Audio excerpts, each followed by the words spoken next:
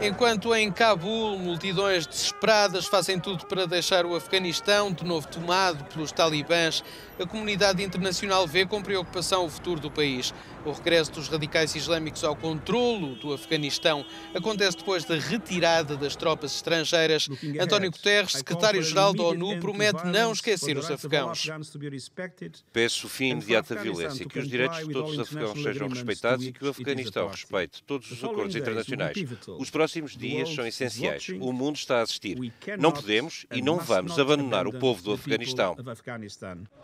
São agora muitos os medos da comunidade internacional à questão das liberdades dos afegãos, em particular das mulheres. Há também o medo de que o Afeganistão se volte a transformar num ninho do terrorismo da Al-Qaeda. A chanceler alemã Angela Merkel acredita que isso não vai voltar a acontecer. Diz que é um dado adquirido que a Al-Qaeda já não pode lançar ataques a partir do Afeganistão, como fez no 11 de setembro de 2001. Mas nem tudo o que se seguiu a essa data teve sucesso ou foi conseguido da forma que o Ocidente esperava.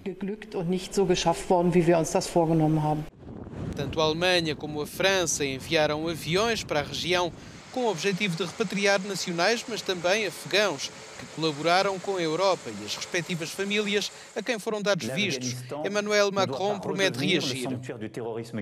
O Afeganistão não pode voltar a ser o santuário do terrorismo que já foi. A destabilização do Afeganistão pode trazer fluxos migratórios irregulares para a Europa. Juntamente com a Alemanha e outros países europeus, vamos dar uma resposta robusta, coordenada e unida. Une réponse robuste, coordonnée et unie.